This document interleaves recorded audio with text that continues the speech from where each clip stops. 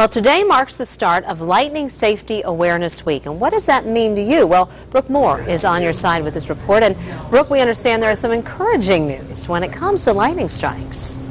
Well, that's right, Pam. According to the National Weather Service, the number of deaths by lightning strikes is actually dropping. 29 people died in 2010, including one Ohioan, but that's actually down from 34 deaths in 2009. Now, so far this year, five people have died as a result of lightning strikes.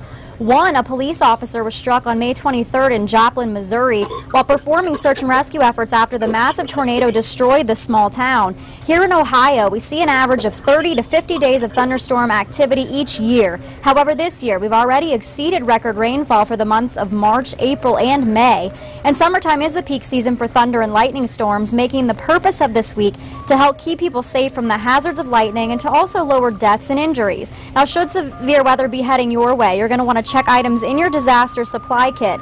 Run drills, know where to go and what to do during the storms. Also, check your weather forecasts daily and remember when thunder roars, go indoors. Though safety doesn't stop just because you're inside, you should still avoid using landlines or corded telephones do not use computers or other electrical equipment. Also, stay away from bathtubs, showers, and other plumbing. And wait 30 minutes after the last sound of thunder to go outside again. Now, if you'd like more information on Lightning Safety Awareness Week, you can go to the National Weather Service's website. I have it pulled up here. It is lightningsafety.noaa.gov. You can also go to our website, WDTN.com, for severe weather warnings as well as your daily forecast. Reporting live, I'm Brooke Moore, 2 News on your side.